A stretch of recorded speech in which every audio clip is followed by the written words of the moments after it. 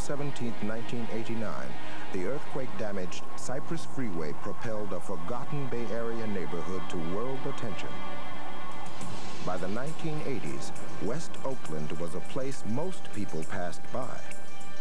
But for almost a hundred years, it was where they stopped. All tracks led to West Oakland. In the 1870s, hammers, nails, and hope converted a quiet pasture land into an energetic town almost overnight after Oakland was declared the final link for America's first transcontinental railroad. Ideally located directly across the bay from the port city of San Francisco, West Oakland became a transportation hub, and for better or worse, transportation would mold and define it until the present day. In the wake of the freeway collapse, yet another change is coming, and with it, the end of an era. The new freeway will cut through these railroad yards, removing many remnants of the industry that once transformed and sustained West Oakland. The people, however, with their hopes and their memories remain. This is their story. We ate out of the garden because my father raised cabbage and he raised corn and everything, you know. We had Italians, Portuguese, Slavonians, Austrians. You could hear the trains blowing when they come in, especially one point, when they get to a certain point. You knew that train was on its way in, and everybody knew what, some people knew the number. Oh, here comes old number 17. this was, uh, was the first point of arrival. Uh, it was the Plymouth Rock from the south.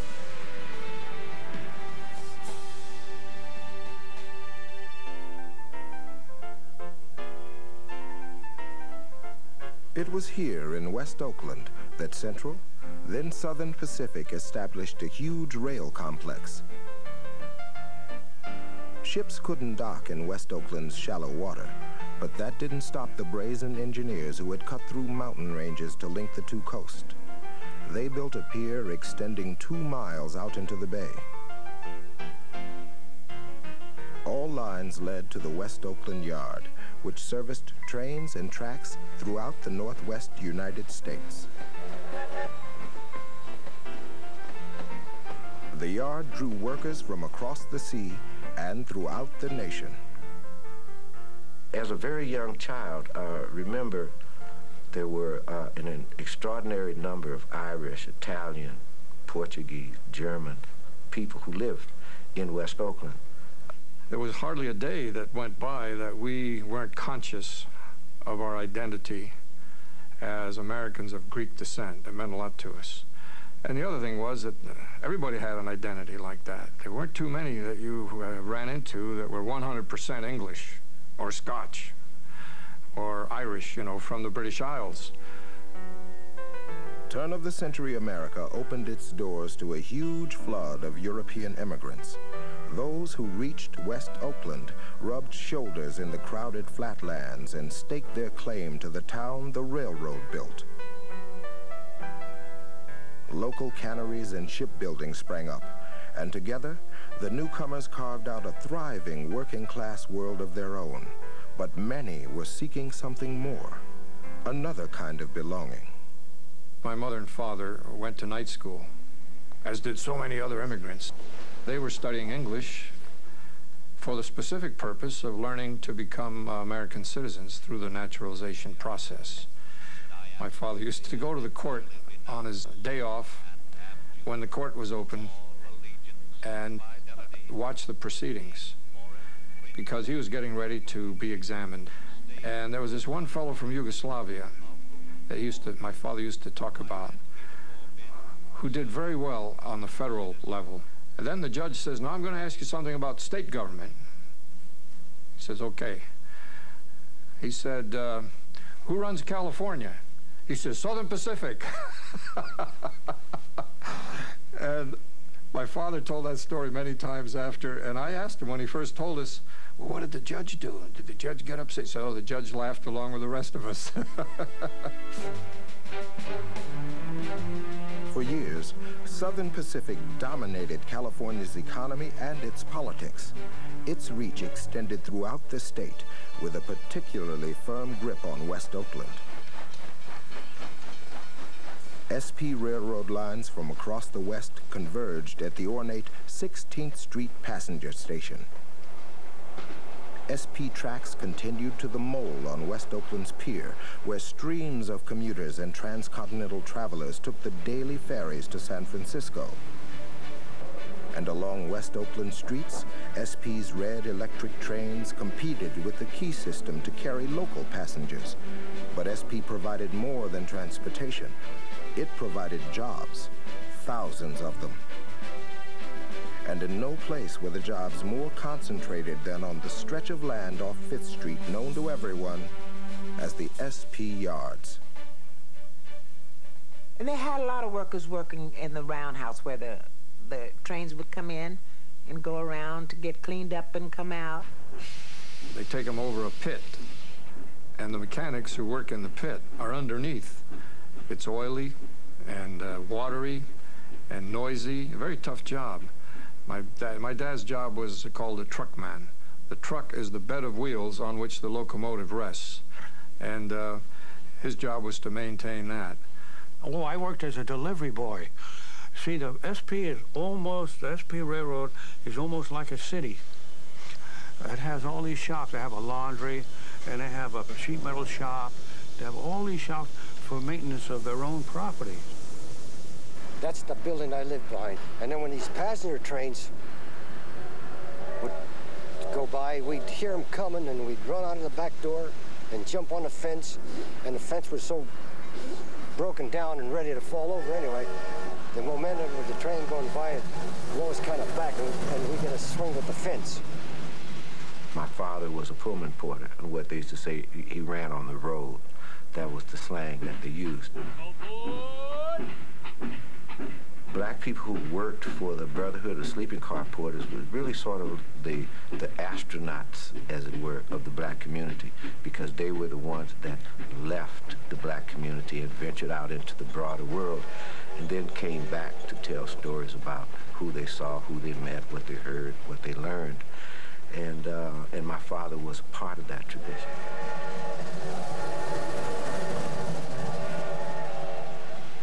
One Sunday morning, the phone rang about 5.30 or 6 o'clock in the morning. And I heard my father say, okay, I'll be right down.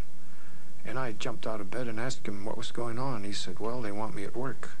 I said, you're a senior guy down there. Can't they call somebody else? They ought to be giving you some, you know, breaks. I said, you know what? In the future, why don't we have somebody else answer the phone on Sunday morning? And we could tell him, oh, he went fishing today. He's not available. He got upset. He said, my boy, I want you to remember one thing. All through the Depression, when so many people lost their jobs, they never laid me off. And I'm, I've never forgotten that, and I don't want you to forget it.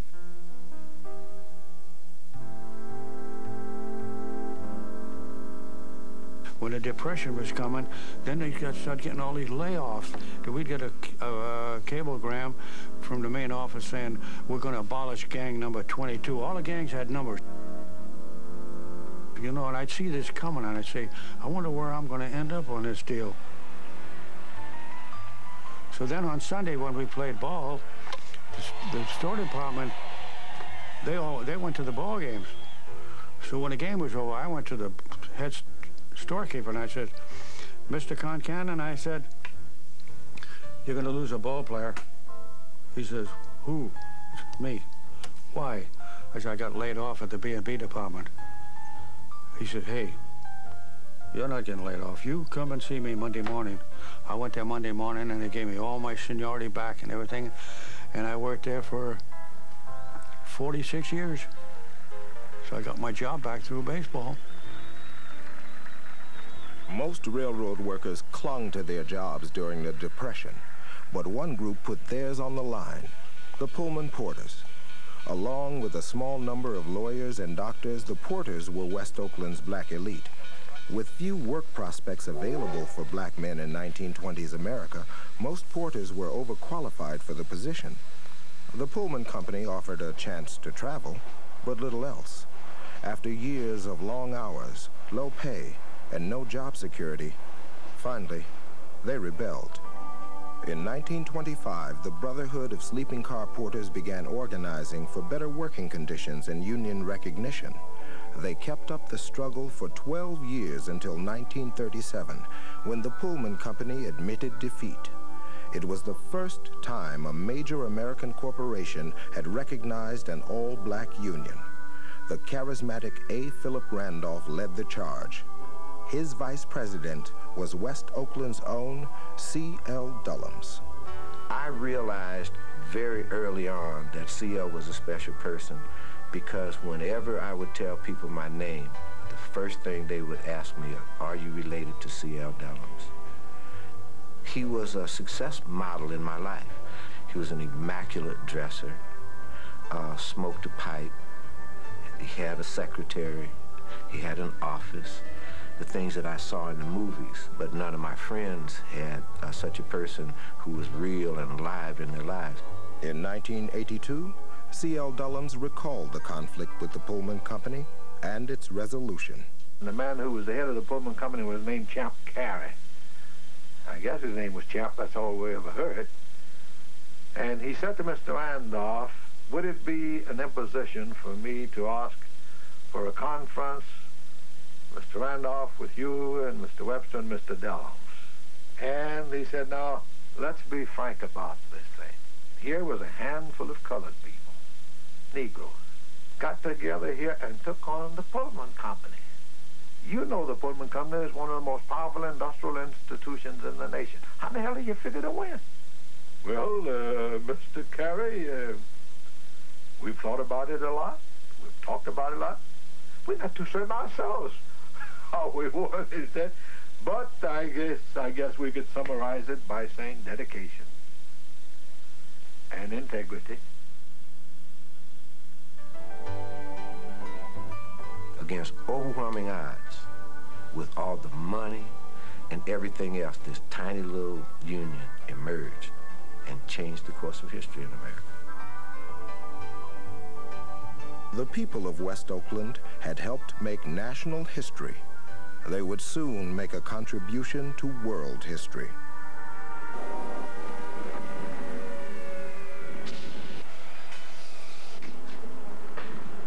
And at that particular time, at the beginning of the war, there were they wanted brakemen, they wanted firemen, they wanted conductors, and they were running ads in the paper. So I answered an ad, came down here to West Oakland, hired out, and made my date as a qualified locomotive fireman on September the 6th, 1941. It was, it was a real, real challenge to run a steam engine correctly. It, it had an almost human response. If you delicately balanced the throttle with the reverse lever and had the engine talk back to you properly, that engine knew you were doing a good job and you knew you were doing a good job. During the war, we would see trains, you know, with soldiers passing, you know, going to going to the um, Pacific, you know, and we would see them full of soldiers going on the train going to, to the end of the railroad tracks where they would be put on boats to go overseas. Then, little by little, we started to hearing that they were contracting people from Mexico as braceros to come and work in the railroad. And uh, that's how my husband came the bracero, they, that's what they used to say, arm, and the arm for United States, bracero, that they needed their arms to work in the, in the railroads. My husband would clean outside of the trains when they would come in and did a lot of things, the maintenance of the trains before they would go out again on the road. The big impetus during the war was to move the freight. Lots and lots of trains in and out. The uh, shipments were supremely important at that time, of course. Uh, valves, pipe, steel plates were all, of course, uh, absolutely necessary. Uh, we had to have a steady flow.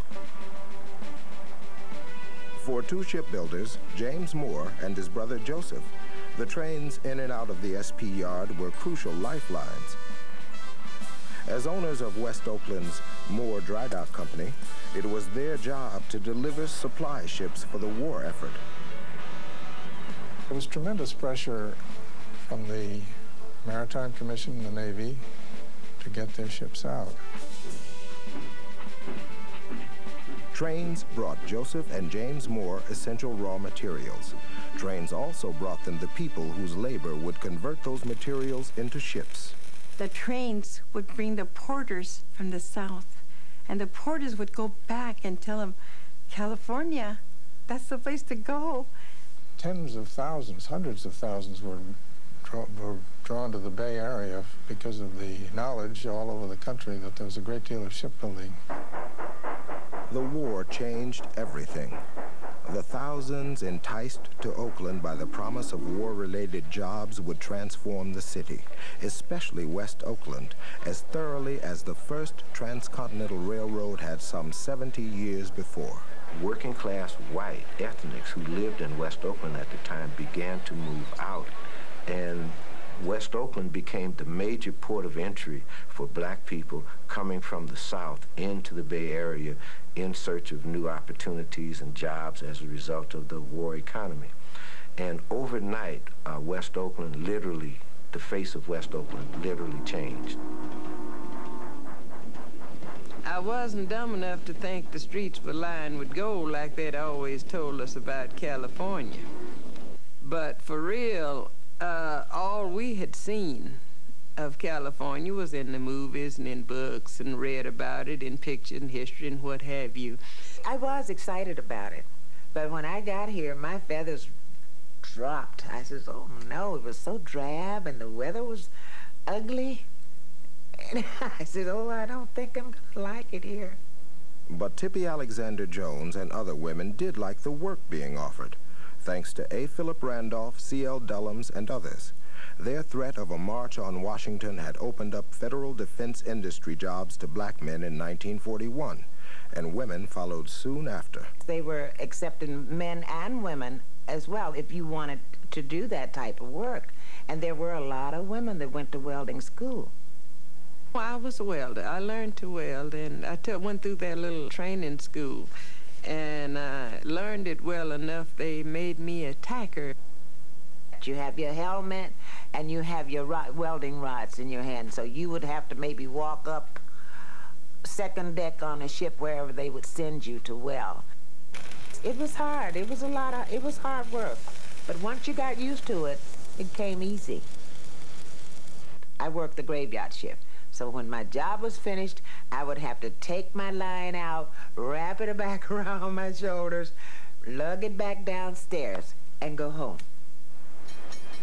The neighborhood Tippy Alexander Jones came home to every morning had changed drastically since the outbreak of war. By the mid-1940s, African Americans were becoming the majority population in West Oakland. Many newcomers from the South brought with them beliefs about home and community they set about realizing in West Oakland's house-lined streets. To longtime residents, the newcomers seemed too aggressive, too ambitious, and too willing to challenge the way things were. Well, we were used to owning our property if you could. Everybody strive back home to own their own property, their own land, their own this. They knew the real value of it because at that one time they didn't. Everything that you would need, or grocery stores, blacks owned, had jobs, and they had places of employment and places to do, but there was commercial activity.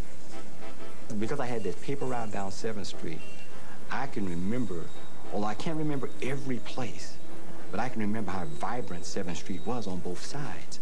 I can remember uh, little cleaners, you know, meat markets, grocery stores, liquor stores, uh, furniture stores, you name it, you know, pharmacies.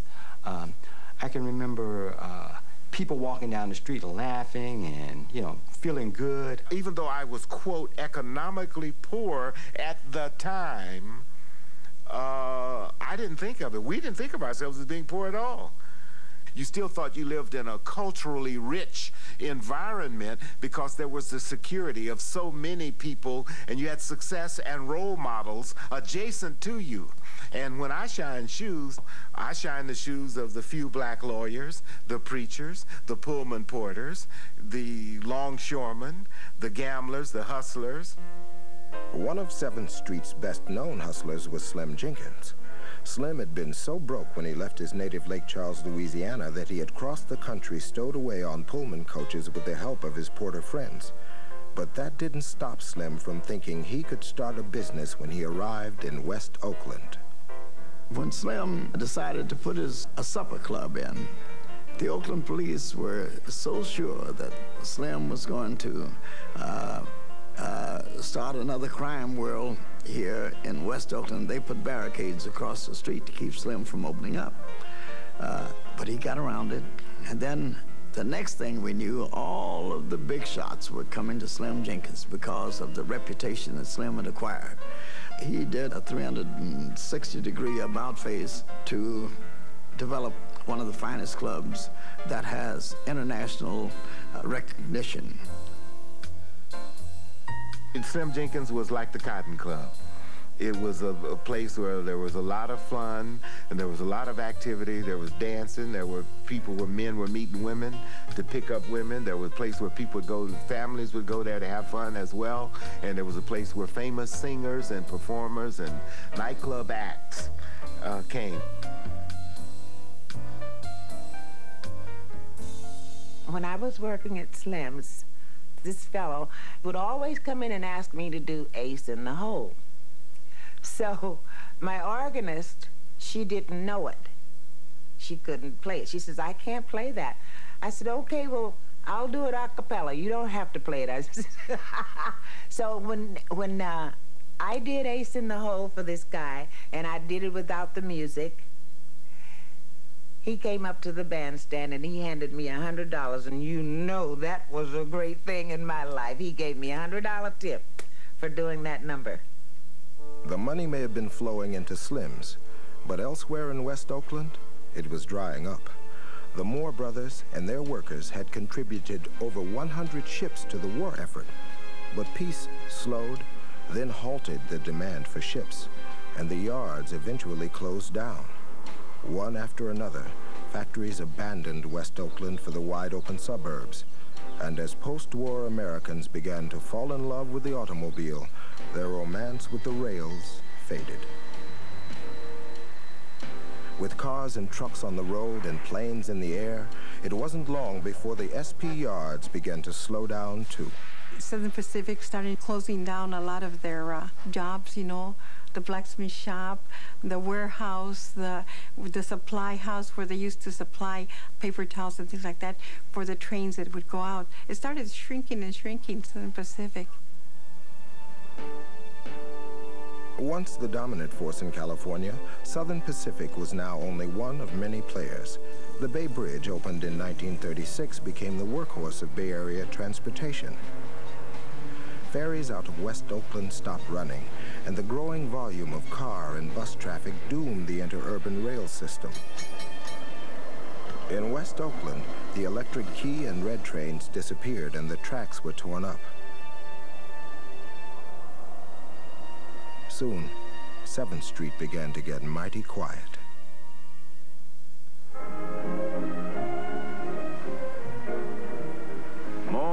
And more and more cars. More on our roads than last year. And there'll be more next year. And the year after that, more and more cars will be built and more cars will be bought. It wasn't long before America started building highways at a feverish pace. In 1955, plans began for construction of a highway through West Oakland leading to the Bay Bridge. The Cypress would prove convenient for many throughout the region, but not for West Oakland.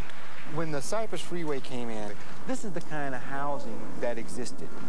Most of it looked like these Victorians. There were some cottages like the small one there, and there were some classic boxes. But most of them were like these Victorians, and, and there were some Queen Anne's. They came through and just wiped that housing out. the folks who lived on this side of the freeway sort of start thinking of themselves as, hey, you know, we're this part of West Oakland, and someone else's that part of West Oakland. 15 years after the construction of the Cypress Freeway, another transportation project came to West Oakland. BART would help reduce the dominance of the automobile in the larger Bay Area, but in West Oakland, it would have a profoundly negative effect. The BART overpass killed 7th Street because they totally lost continuity. And from there, I think things deteriorated. Nobody wanted to go down there. With that thing right in, going right over their head all day long? No.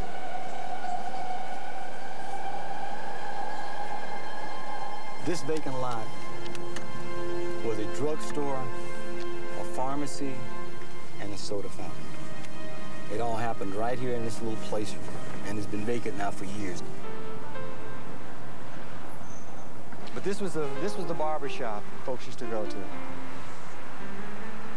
Where were you pointing out the tile? Oh, I mean, sort of like the tile is still there, and that's that's all that sort of remains, you know. I'm shaking my head, you know, because I get stuff like a flood of memories and stuff. This place used to look good. Damn. These houses have looked like this for like five years or more. But see, this is the stuff when I say people see problems and I see potential, it's like, I don't know who lives there. I know who lives here. But if it's a senior, then through some of the City of Oakland's rehabilitation programs, we should be able to go in and do something, you know, to, to fix up the house. West Oakland's problems and potential confront each other block by block, house by house. Like when the community came together to rebuild the earthquake-devastated home of longtime resident Martha Booker. The first day that we said, let's go down and clean up, and we didn't know how many people were going to be here. 200 people came here, including my state senator, Nicholas Petris. He was here. And then on Saturday, when everybody could come down, we would actually get together and raise these walls, you know, and hold them up, and then they would nail them down. And I could lift that wall up and stand there and say, we won, we won this.